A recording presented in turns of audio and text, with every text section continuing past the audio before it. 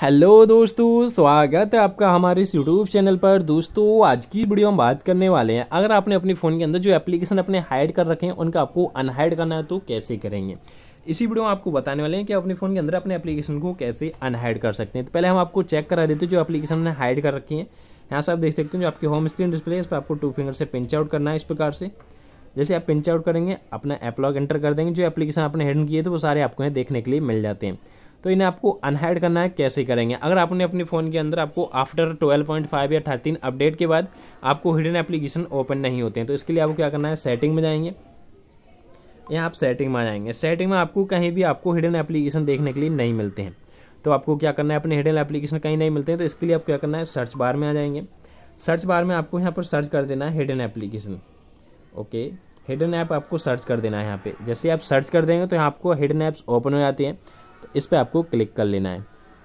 जैसे आप इस पर क्लिक करेंगे, यहाँ से आपने जो भी पैटर्न पासवर्ड रखा हो हाइड ऐप पे, वो आपको इंटर कर देना है।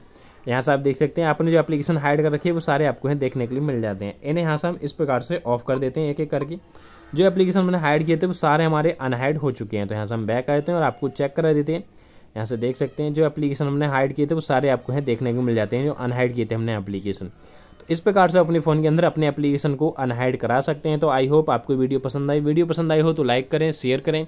और चैनल पर पहली बार आए तो चैनल को सब्सक्राइब करके बेलकन प्रेस करना भूलें ताकि हम वीडियो नोटिफिकेशन मिल सके। सबसे पहले मिलते हैं आपसे किसी नेक्स्ट वीडियो में। तब तक के लिए bye bye and take care